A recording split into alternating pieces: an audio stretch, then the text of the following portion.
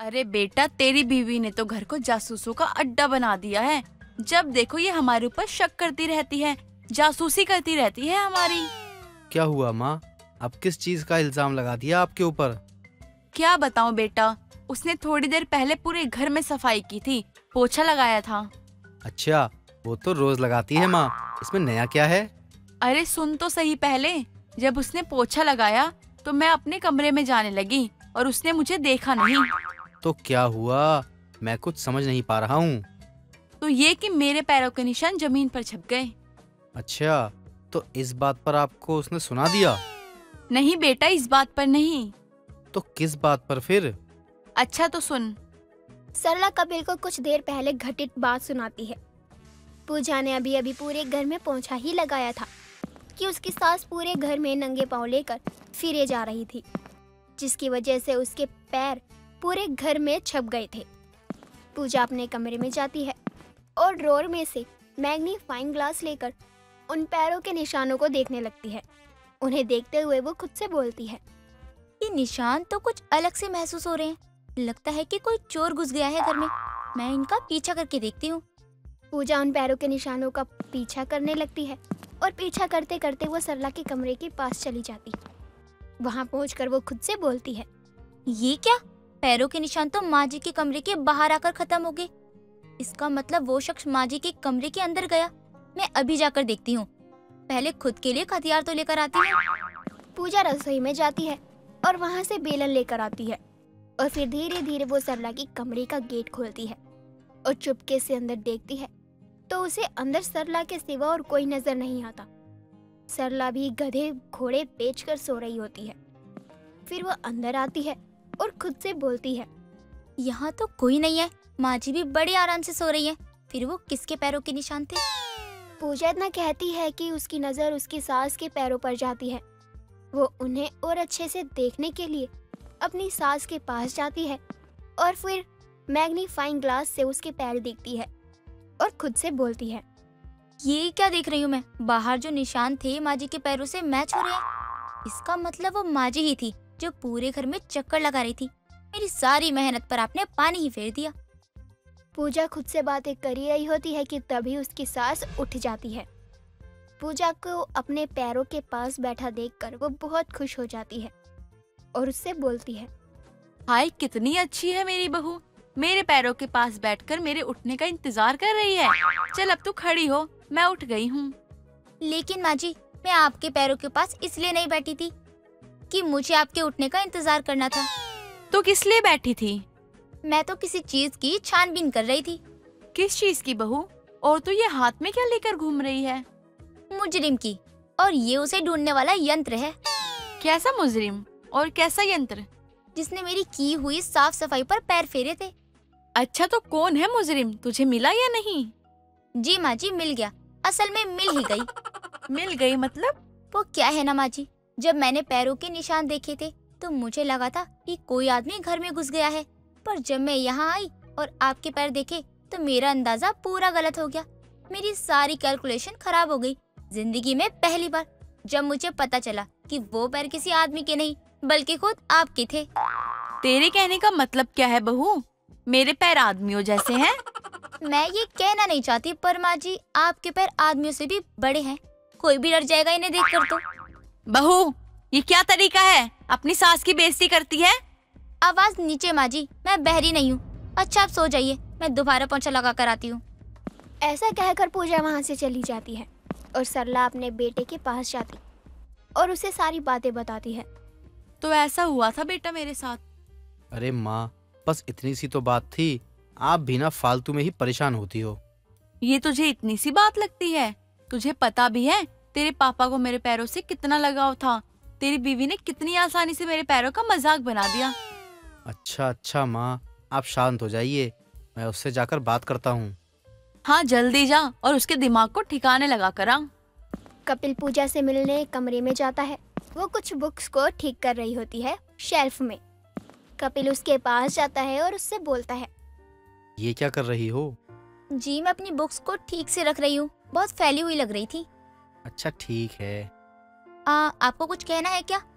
असल में हाँ तुमने माँ से क्या कहा? उनके पैरों को लेकर? जो कुछ भी कहा सच कहा पर लगता है उन्हें बुरी लग गई। देखो मैं तुम्हें कुछ कहना नहीं चाहता पर एक बार बस तुम माँ से माफ़ी मांग लो। जब मेरी गलती है ही नहीं तो मैं माफ़ी किस बात की मांगू? माफ़ी मांगने से तुम छोटी नहीं हो जाओगी। उन दोनों में बहुत देर तक इस चीज़ को लेकर बहस चलती रहती है। फिर आखिर में दोनों इस नतीजे पर पहुँचते हैं कि पूजा सरला के पास जाकर उससे माफ़ी मांग लेगी। पूजा अपनी सास के पास जाकर उससे बोलती है देखिए माँ जी मुझे आपसे वो सब नहीं कहना चाहिए था। मुझे माफ़ कर दीजिए। कोई बात नहीं बहू। चल अब तू मेरे लिए खाना बना दे जल्दी से। बहुत भूख लगी है। ठीक है माँ जी अभी लाती हूँ। पूजा सबके लिए खाना बनाने चली जाती है। तो वो जैसे ही किचन में जाती है तो सामने स्लिप पर एक गिफ्ट रखा होता है। पूजा उसके पास जाकर उसे खोलती है। तो उसके अंदर एक बहुत ही अच्छी सी ड्रेस होती है।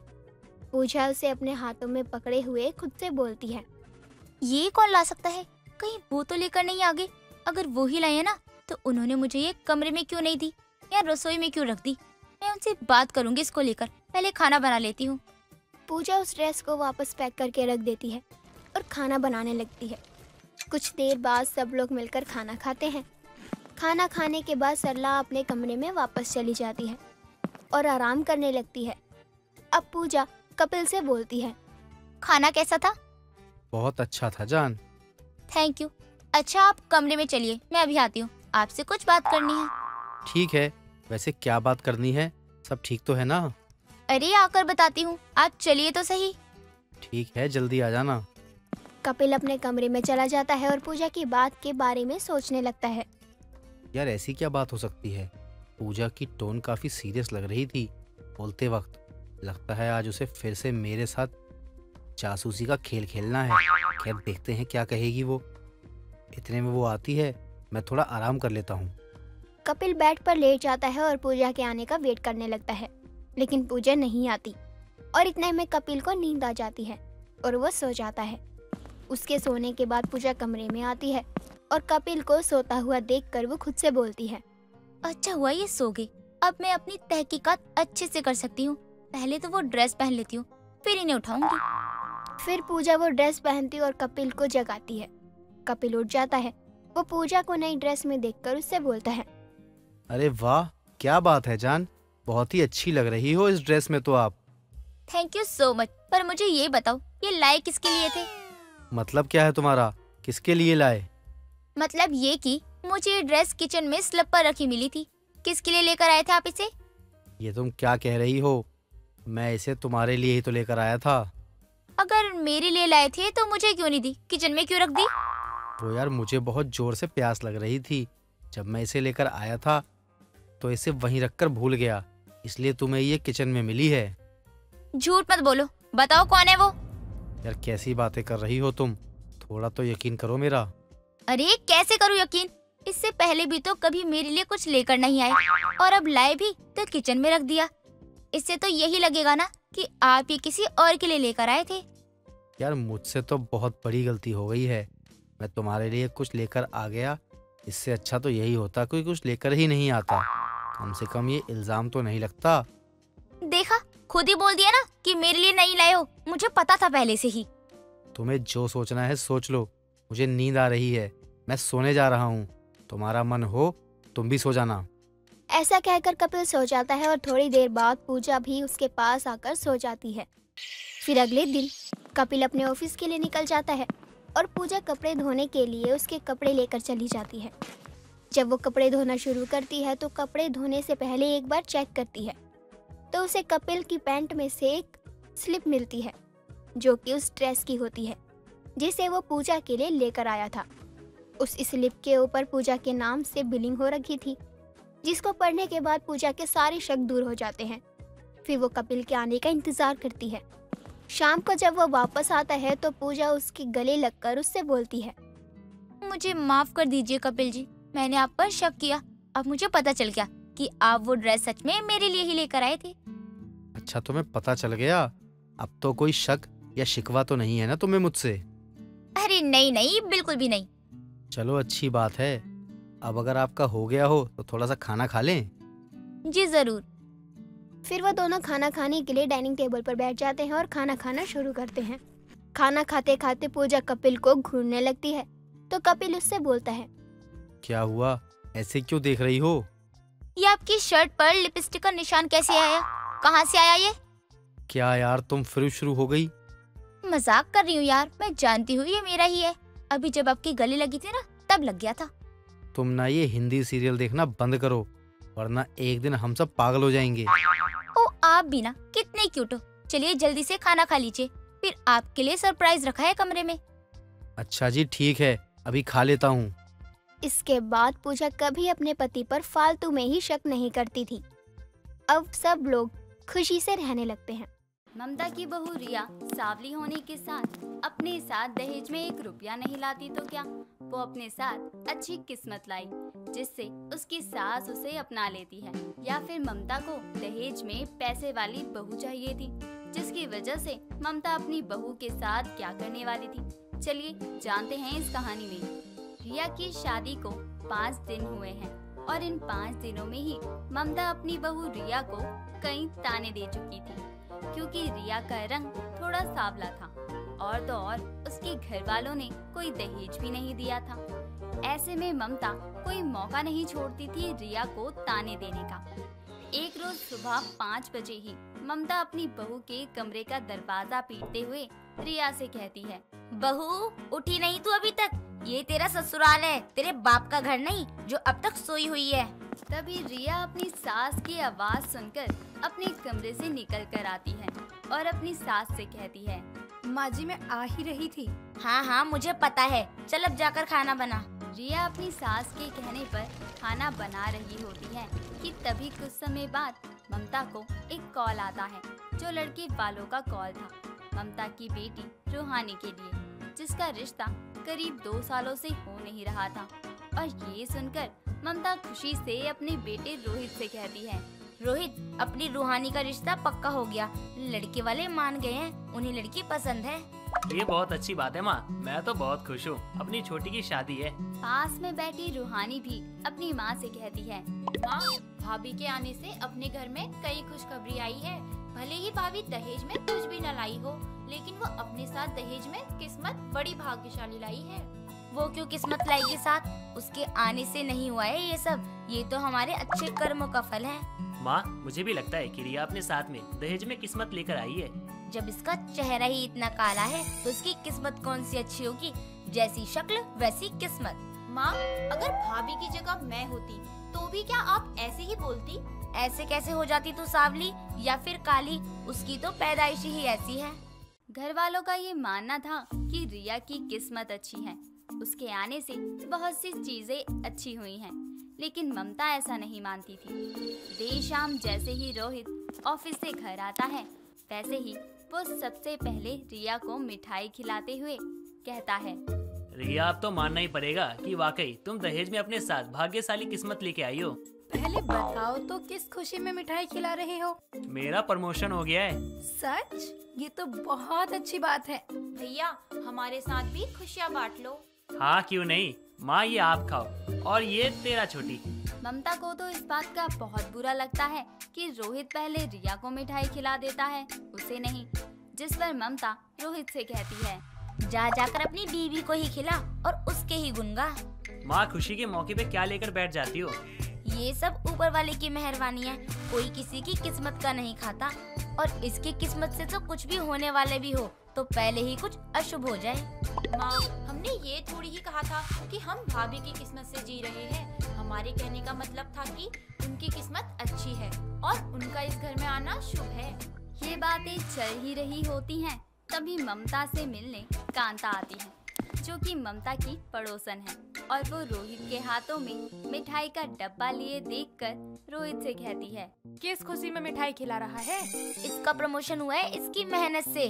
और ये कह रहा है इसकी बीवी की वजह से इसका प्रमोशन हुआ है क्योंकि वो दहेज में कुछ नहीं लाई लेकिन किस्मत ज़रूर लाई है। हाँ सही तो कह रहा है रोहित। तेरी बहू दहेज में कुछ लाए या ना लाए किस्मत तो ज़रूर लाई है। तभी तो तेरी बेटी का रिश्ता भी पक्का हो गया है और अब रोहित का प्रमोशन भी हो गया है। तो किस्मत तो तेरी बहू की वाकई में अच्छी है। तू भी इनके साथ शामिल हो गई। मैं तो सच ही कह रही हूँ जो मुझे दिखा वरना इतने सालों में तो मैंने कुछ अच्छा नहीं सुना तेरे घर के बारे में। अगले दिन ममता आँगन में बैठी होती है तभी रिया को पोछा लगाता हुआ देखकर ममता अपनी बहू को ताने मारते हुए कहती है। मेरे घर वाले तो पागल हो गए हैं। ना जाने किस्मत किस्मत लेकर बैठे हैं। इनके बाप ने दहेज तो दिया नहीं। किस्मत कहाँ से देंगे? ममता वहाँ से उठकर गेट के बाहर ही जा रही होती है कि तभी रिया अपनी सास से कहती है। माँ जी आप अपने कमरे में चली जाइए क्योंकि वहाँ मैंने पोछा लगा दिया है। हाँ हाँ अब तो कुछ समय बाद ही मुझ पर भी हुक्म चलाने लगेगी। जैसे ही ममता अपने कमरे में जाने लगती है, वैसे ही वो बाहर शोर सुनती है कि किसी ने कांता की चैन छीन ली है। ये सुनकर ममता हैरान रह जाती है, क्योंकि कांता तो ममता के घर आ रही थी। लेकिन उससे पहले ममता दरवाजे पर बैठने जा रही होती है। ऐसे में ममता अपनी चैन को देख कर कहती है, आज तो जान बच गई, नहीं तो कांता की जगह मेरी चैन जाती। क्या सच में मेरी बहू अपने दहेज में किस्मत लाई है? उसके कहने पर ही मैं कमरे में गई नहीं तो घर से बाहर जा रही थी। ममता ये सोच ही रही होती है कि तभी कांता रोते हुए ममता के पास आती है और उससे कहती है ममता देख मैं तेरे घर के पास ही आ रही थी लेकिन दो बाइक पर चोर आए और उन्होंने मेरी सोने की चेन गले से खींच ली। सुनी मैंने तेरी सारी बातें अगर आज तू नहीं जाती तो मैं भी बाहर जा रही थी लेकिन बहू ने कहा कमरे में चले जाओ और मैं कमरे में चली गई। और तू कहती है कि तेरी बहू की किस्मत बहुत बुरी है। वो तो अपने साथ दहेज में वाकई खुशियाँ लेकर आई है, तू मान या ना मान। लेकिन मैं तो लुट गई, बर्बाद हो गई। ममता, अब क्या करूँ मैं? रोने धोने से कुछ नहीं होगा। जो हो गया, सो हो गया। सोच, तेरी जान तो बच गई ना। अब जैसे ही ये बात रोहित और रूहानी को पता चलती है, वो भी रिया की किस्मत का होना बता रहे थे कि वाकई रिया की किस्मत इतनी अच्छी है। लेकिन ममता तो अब भी उसकी किस्मत को कोसी रही थी। लेकिन कहीं ना कहीं उसे भी लगता है कि ये रिया की वजह से ही हुआ है। अगर वो नहीं टोकती तो शायद कांता की जगह ममता बाहर होती और उन चोरों की शिकार हो जाती। अगली सुबह सारा काम हो जाने के बाद ममता अपनी बहू रिया से कहती है बहू तेरा काम हो गया हो तो जा जाकर मार्केट से सब्ज़ी लेकर आ। माँ जी वो थोड़े कपड़े धोने हैं वो कर लेती हूँ उसके बाद ही जाऊँगी। आकर घर का काम हो जाएगा तू पहले बाहर का काम निपटा ले। रिया अपनी सास की बात ना मानकर कपड़े धोने में बिज़ी हो जाती है।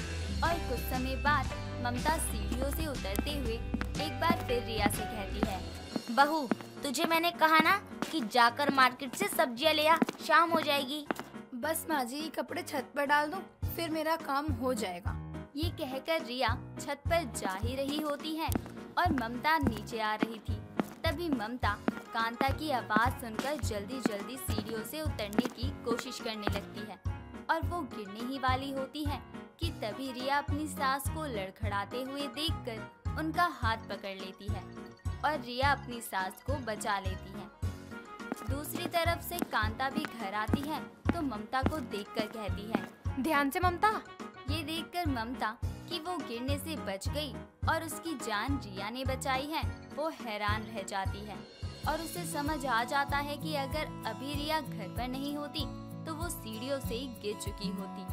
और अब दोनों ही नीचे आते हैं और कांता ममता से कहती है देखा तूने मैंने कहा था ना कि तेरी बहू दहेज में कुछ लाई हो या ना लाई हो लेकिन अपने दहेज में इतनी अच्छी किस्मत लाई है हाँ आज मैं मान गई कि मेरी बहू ने दहेज के सामानों से मेरे घर को नहीं भरा लेकिन उसकी अच्छी किस्मत से इस घर में खुशियाँ ही खुशियाँ हैं। इस तरह ममता को एहसास होता है कि उसकी बहू दहेज में किस्मत लाई है और उसके आने से उसके घर में सिर्फ़ खुशियाँ ही आई हैं। उषा जितनी ही मेहनती थी, उसकी बहू रूबी उतनी ही कामचोर थी। ऐसे में अब उषा अपनी बहू को इस कामचोरी से मेहनती कैसे बना पाएगी, ये देखना काफ़ी ही दिलचस्प होने वाला है। तो चलिए शुरू करते हैं आज की इस कहानी को, जिसमें कामचोरी की हद तो तब हो जाती है, जब दो दिन तक बहू के नेल पेंट सूखने के बहाने ही चालू रहते हैं। उषा अपनी बहू की कामचोरी से परेशान थी, लेकिन वो अपनी बहू के बहानों को जानती थी कि कैसे उषा की बहू रूबी कामना करने के बहाने तलाशती एक रोज रूबी हॉल में बैठी अपने हाथों में नेल पेंट लगा रही थी। तभी उषा भी हॉल में आती है और अपनी बहू रूबी से कहती है बहू जरा टीवी का रिमोट तो बढ़ा दे मेरे आगे। माँ जी मेरे हाथों में नेल पेंट लगी है आप ही ले लो ना। रूबी कोई भी काम करने में इतना कामचोर बन जाया करती कि मानो जैसे आज ही उसे हॉस्पिटल से डिस्चार्ज किया गया हो। लेकिन किया भी क्या जा सकता था? उषा खुद ही उठकर रिमोट लेकर टीवी देखने बैठती है। तभी बगल में आकर रूबी भी बैठ जाती है और कुछ समय बाद डोरबेल की आवाज़ सुनाई देती है जिसे सुनकर उषा रूबी को देखते हुए कहती है। बहू जाकर देख गेट पर कौन आया है।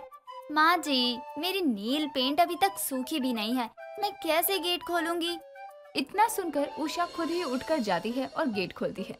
तो देखती है कि उसकी पड़ोसन विमला आई है जिसे देखकर उषा कहती है आ गई गाँव से विमला।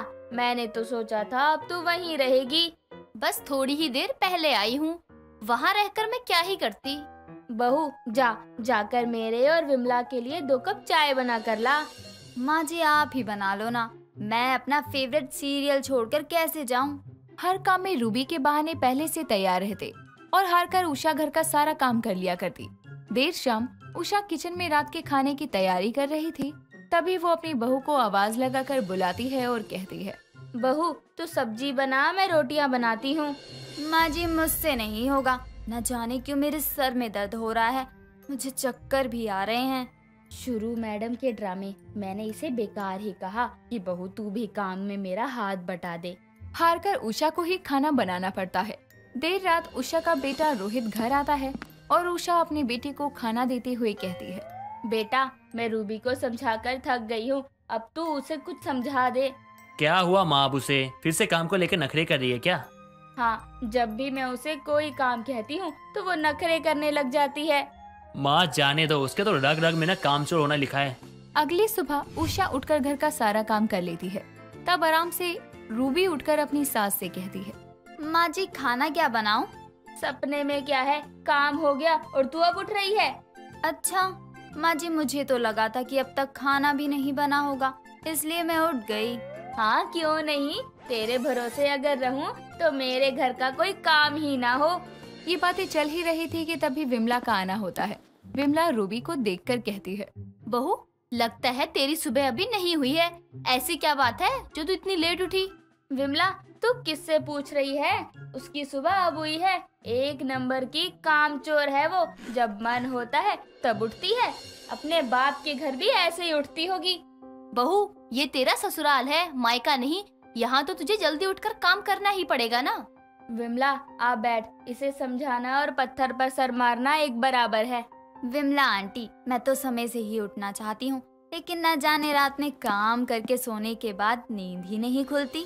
हाँ रात को पत्थर तोड़ेगी तो सुबह आँख कैसे खुलेगी सीधा सीधा कह दे कि मुझसे कोई काम नहीं होता मैं हूँ ही काम चोर ये सुनकर रूबी अपने कमरे में चली जाती है लेकिन रूबी के जाते ही विमला उषा से कहती है। उषा देख मैं तुझे कह रही हूँ जितनी तू मेहनती है उतनी तेरी बहुत आलसी है। उसे समझाया कर काम काज नहीं करेगी तो तू कब तक काम करेगी?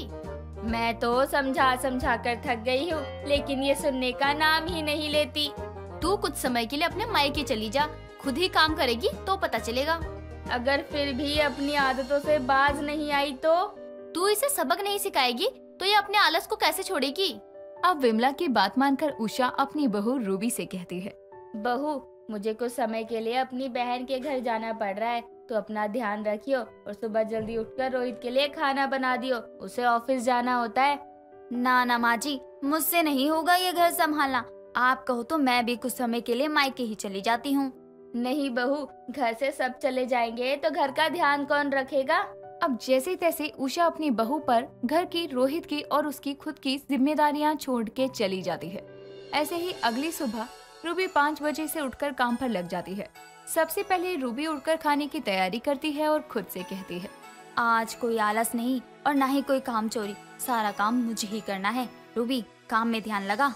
अब जैसे तैसे रूबी जल्दी जल्दी खाना बनाती है और रोहित का लंच बॉक्स पैक कर देती है। ये देखकर रोहित भी रूबी से कहता है। क्या बात है आज तो मुझे खाना समय पे मिल गया। मुझे तो उम्मीद नहीं थी कि आज मुझे खाना समय पे मिलने वाला है।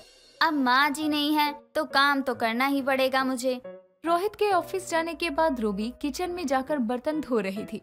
तभी विमला आती है और रूबी को काम करते हुए देखकर रूबी से कहती है बहू आज तो तूने घर का सारा काम जल्दी कर लिया। क्या बात है? कहीं जा रही है क्या? नहीं आंटी जी माँ जी अपनी बहन के घर गई हैं तो मुझे ही करना है। तो सोचा सब कुछ जल्दी कर लूँ।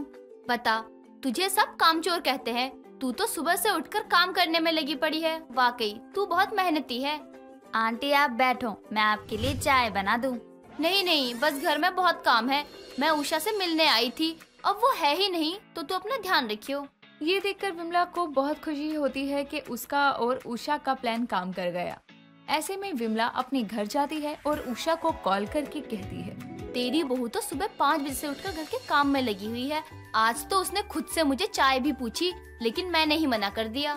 सच कह रही है क्या तू विमला? ऐसा कैसे हो सकता है? उससे एक बोतल पानी भी भरा नहीं जाता और तू कह रही है पाँच बजे से उठकर काम कर रही है? तू खुद पूछ ले क्या कर रही है बहू? मैं भी तो अभी देख कर आई हूँ। उषा को यकीन नहीं होता कि उसकी कामचोर बहू काम कर रही है। अब उषा अपनी बहू को फ़ोन लगाती है और रूबी से कहती है, बहू, तूने घर का काम किया भी है या नहीं? या अभी तक सो ही रही है। माँ जी, सारा काम हो गया, बस नहाने जा रही हूँ। सुबह सुबह ठीक तो है या सपने में बात कर रही है? ना माँ जी, ना, मैं सच बोल रही हूँ, सारा काम हो गया है। यानी आज तूने काम चोरी नहीं की है। तभी वो कॉल कट कर देती है। लेकिन उषा को यकीन नहीं था कि उसकी कामचोर बहू काम भी करेगी। लेकिन वो तो घर का सारा काम करके नहाने जा रही थी। ऐसे में उषा मन में सोचती है।